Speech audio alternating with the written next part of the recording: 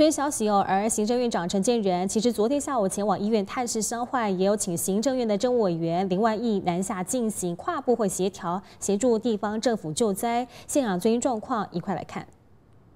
陈福建年院长指派我下来，就希望说。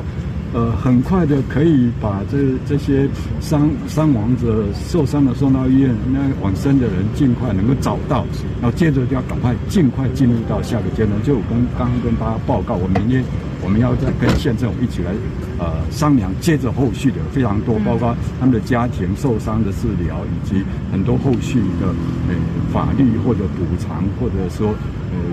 甚至于呃更多更多让未来的。职业附件的规划，这都是非常需要大家一起合作的。